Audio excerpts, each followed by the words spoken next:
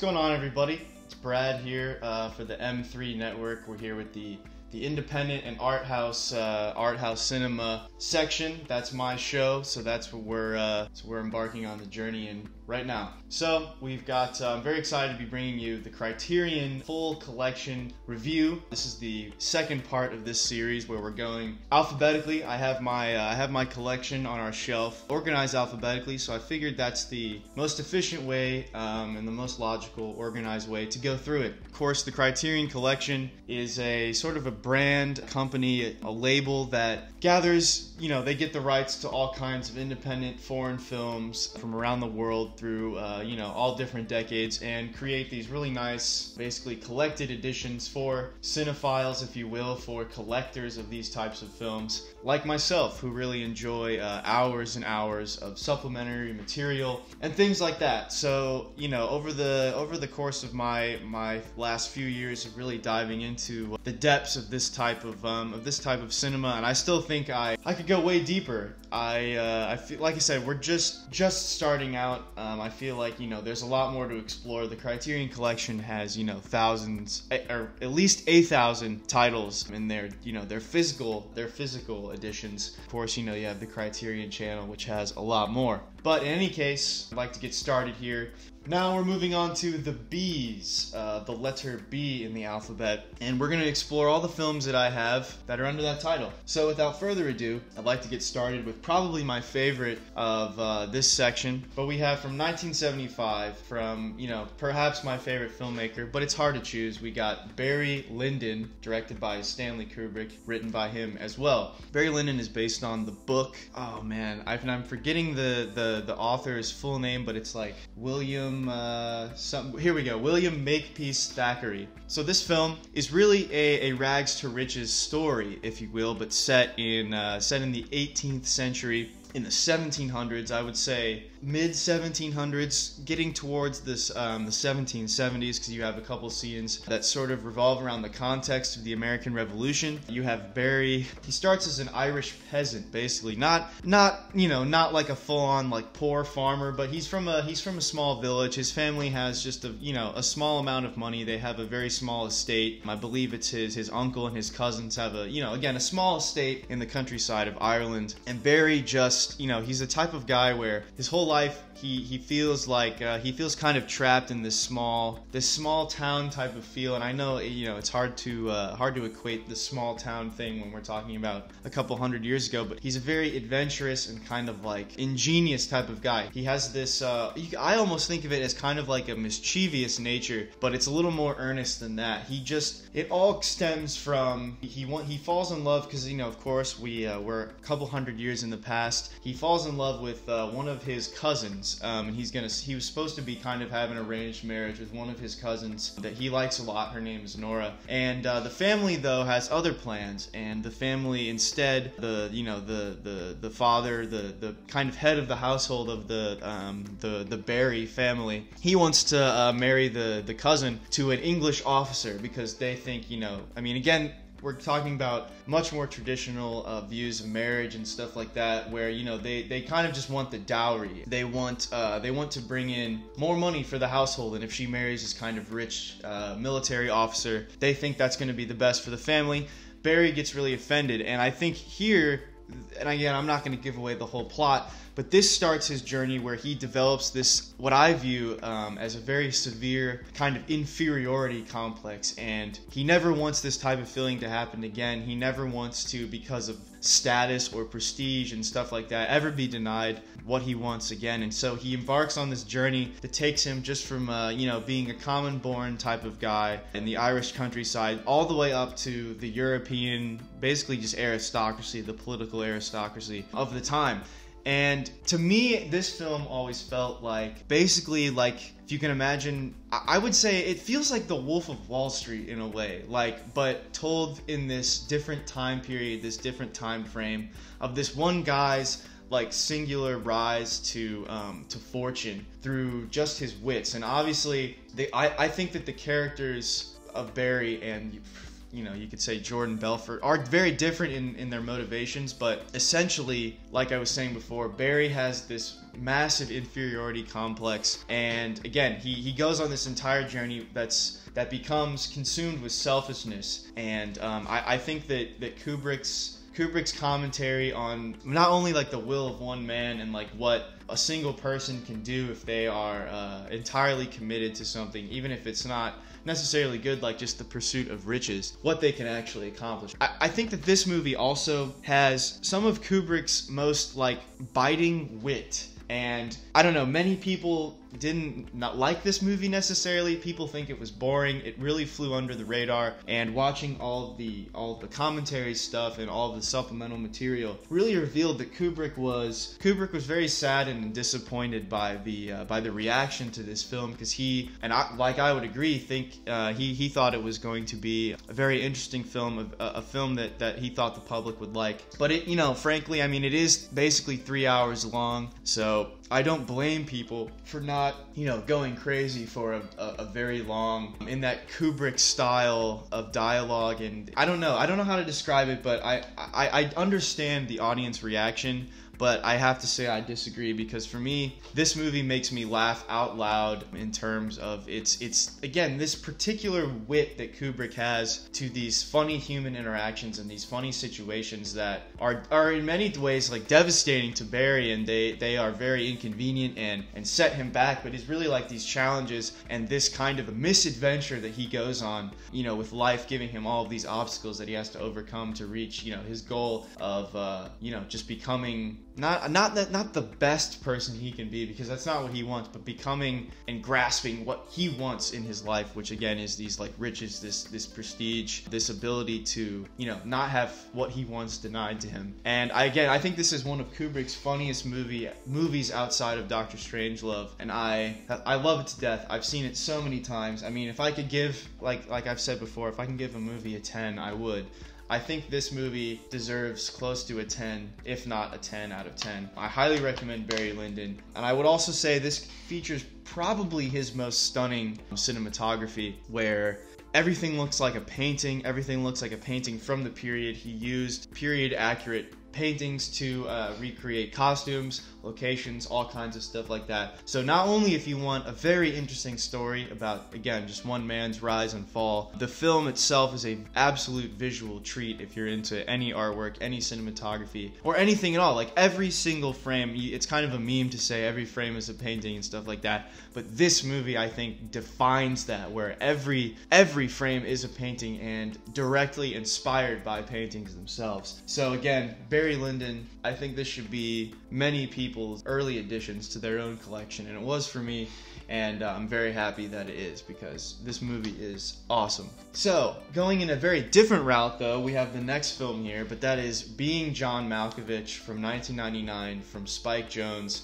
And this movie, this movie is a trip in a different way. And you know, it, it's written by Charlie Kaufman. So if you are familiar with his sort of avant-garde like postmodern style where the story becomes completely turned on its head. The reality of the story begins breaking down and going into insane crazy levels that no one saw coming you don't see coming. That is this movie. You think it's you know just slightly weird on the surface and then it just literally keeps going from there, becoming more and more absurd. You have Cameron Diaz in this film as uh, the girlfriend to, and forgive me for forgetting the name for a second, but John Cusack playing the main character. Everyone's performance in this is amazing, uh, especially the titular character, if you will, John Malkovich. I don't know, I don't know how they convinced him and talked to him about being in this movie. I don't know how or why Charlie Kaufman thought of this, but it's simply incredible, and John Malkovich's performance is hilarious. This movie makes you laugh out loud like like it's nobody's business. It is it is truly hilarious,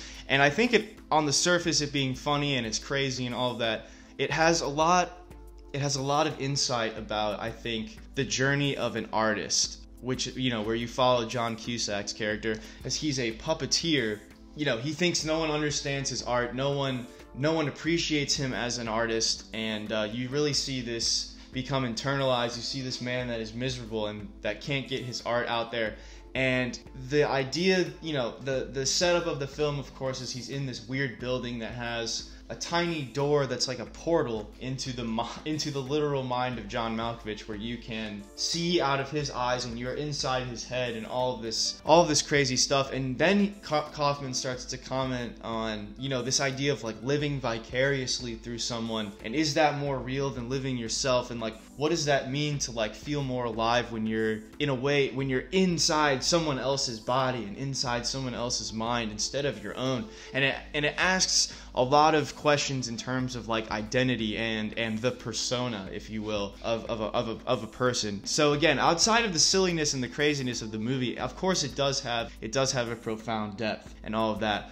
I think that being John Malkovich, you know, also very high score incredible film. I, am a big fan of Spike Jonze. Um, I just recently rewatched her uh, with Joaquin Phoenix, but in any case, this movie is quite awesome, quite hilarious. It's also got a super nice, super interesting design too, with the eye here, and then it's like the pupil is like the portal, all that kind of stuff. So, highly recommend this film um, as well. So, moving on here, we've got 1947's Black Narcissus, okay? So this is by Michael Powell and Emeric Pressburger. This film's from 1947, like I said, and this movie is simply incredible and an interesting story of why I got this. This was in 2019, an article put out on Criterion's website from Ari Aster, who made Midsommar and Hereditary, one of my favorite filmmakers working right now. He cited this as one of the influences that, um, behind making Midsommar, and so I was like, all right, gotta check it out. And uh, yeah no this film is is amazing. For the 40s it's it's a complex story about these nuns that are trying to create basically a school and like a center for the poor children of the surrounding area.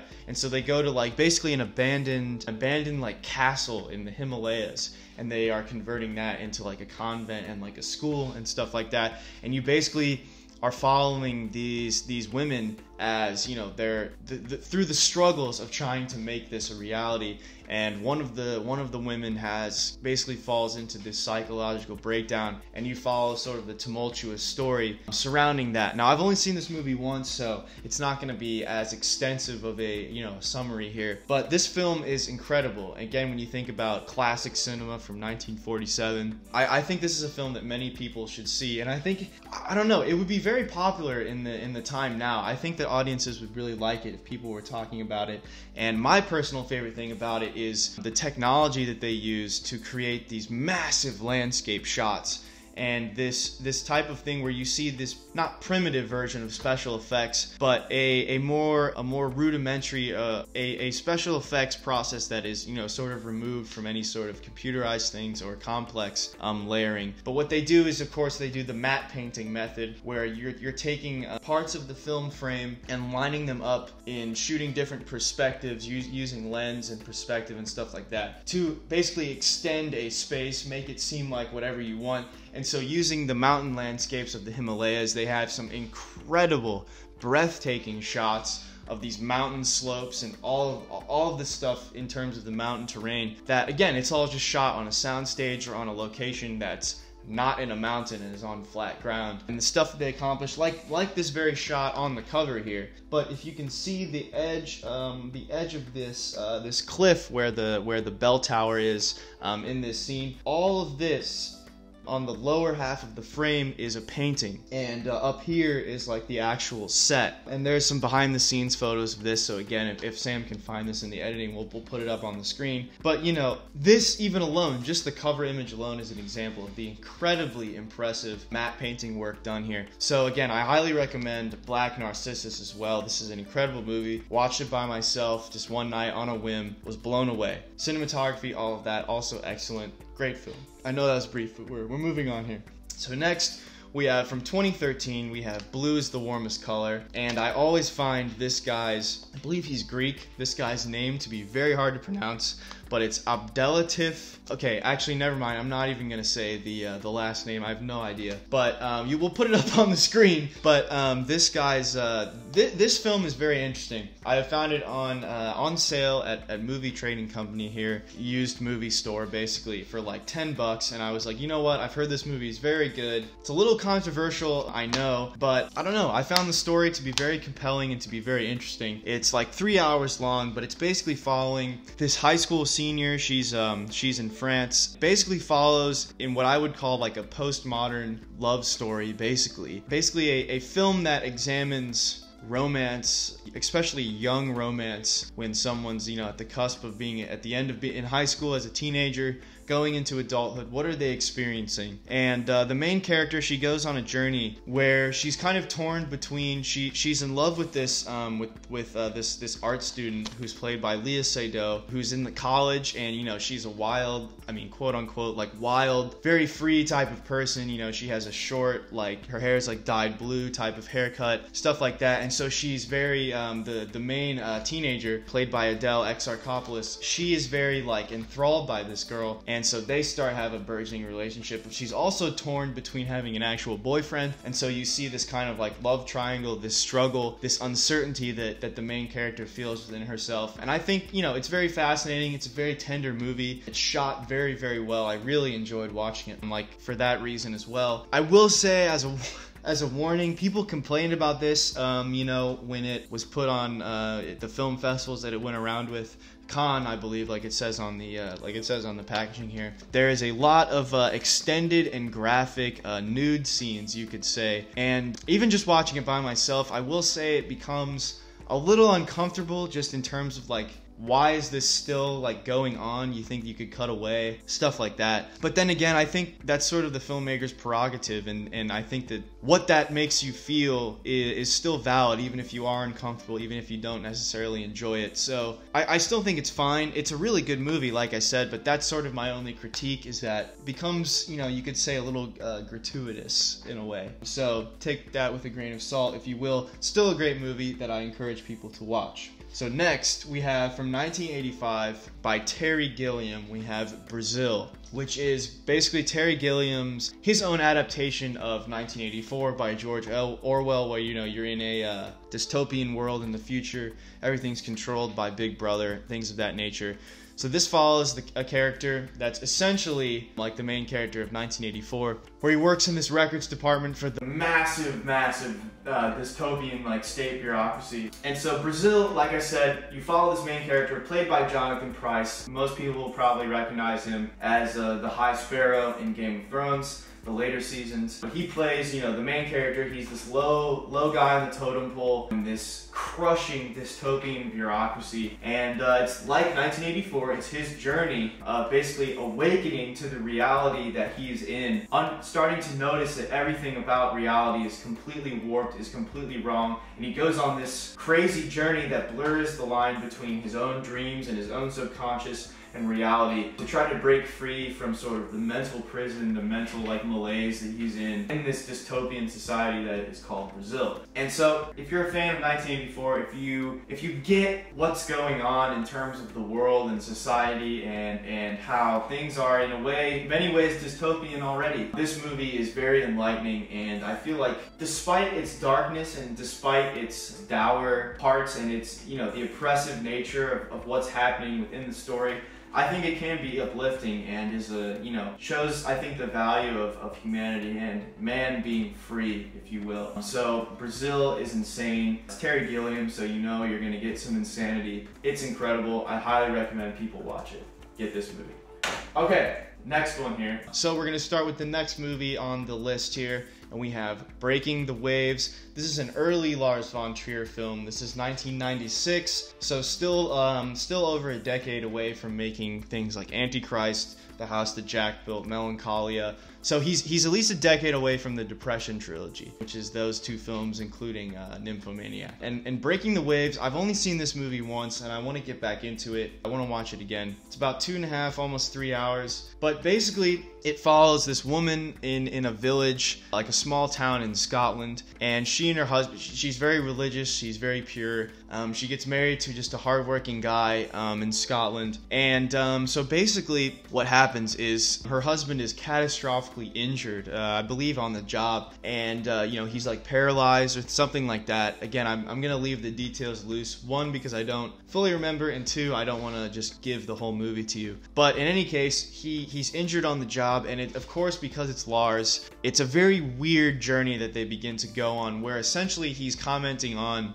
the perhaps the sacredness of, of human sexuality and, and, and sex in general as the husband is basically telling his wife, the main character of the story, that basically he's okay with her in her life, like um, knowing other men and uh, stuff like that, because he feels basically guilty in a way that he can't give her, he can't satisfy her needs like on that level as a spouse. And in that way, you can you can really empathize with with what he's thinking and what this couple is going through, as it's a very traumatic sort of psychological journey, and you can really empathize. Like I because in many ways like who who can put themselves in that shoe? Who can who can ask themselves those questions? Who who can ask themselves like would i be willing to do something like that? What is what does marriage mean? How how important is the physical aspect of a relationship between men and women? I think these are all very fascinating questions that lars asks in this movie. And i would say again i i've watched it a couple years ago and i don't remember it too much in terms of like what happened as much as his other films really stick with me. But this one is still very profound found, and it had that that very common Lars thing where you have this kind of melancholy, depressing feeling where it's not it's not fully just fully utterly dark where it feels like you've learned something but you're still left with this like huh that was still a sad like depressing story. So it is kind of a mixed feeling that you're left with but it really is it really is a fantastic movie. So i highly recommend breaking the waves. Again not my favorite of lars's movies. I think all the ones that i mentioned i like way more but this is still a very solid film. Early lars like i said in 96 so i highly recommend this one as well i feel like it goes without saying i'm gonna i'm gonna recommend these movies there's only been one criterion that I bought and I didn't like it, but we'll get to that. So, the last movie on the list, and this is the only one I haven't seen out of the, the 50 or so films that I have, there's only a handful, uh, there's like three or four that I still have yet to watch. But this is Edward Yang's from 1991. It's Taiwanese and it's called A Brighter Summer Day, which is taken from an Elvis lyric that he has in the trailer. And, you know, even the Elvis record is part of the, uh, the cover image here. But this is a Taiwanese film that I believe is uh, is almost four hours long, if not four hours. But it's basically like a crime film like a film about youth and stuff like that where basically from what i can gather about the plot and i and i myself have tried to be very hands off with this because i've heard this is such such a good movie and i don't want to spoil anything but what i can summarize about the plot is in the 1950s and 60s where you have a lot of political turmoil in asia especially southeast asia. Like you know you have the chinese communist revolution and stuff like that. So we're dealing with a rapid change of not only modernization but the political landscape of this region. And uh, you're basically following these kind of gangs of like like street youths and stuff like that and like the main character is like a teenage guy like on the cusp of like going into adulthood stuff with his girlfriend and i know that there's crime involved with like a murder and stuff like that. And it's basically a journey of uh, you know from adolescence into adulthood of these kids with all of these other implications and stuff like that happening in the background. So i feel bad in saying that that's all that i can